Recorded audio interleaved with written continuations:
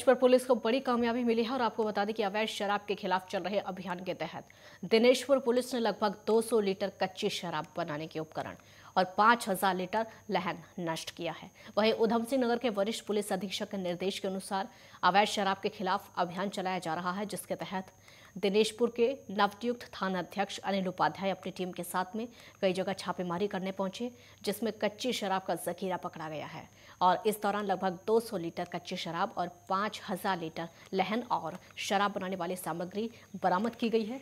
वहीं मौके से एक आरोपी को गिरफ़्तार किया गया है।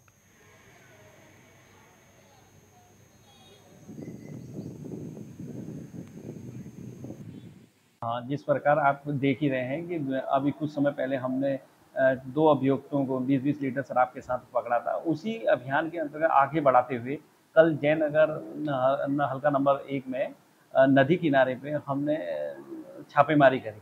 तो वहाँ पे हमें जीवित जो भट्टियाँ हैं, तैयार भट्टियाँ मिली। उसमें हमने दो भट्टियाँ पकड़ी हैं और एक अभियुक्त को पकड़ा है। लगभग लगभग पाँच हज़ार लहन हमने नष्ट करा।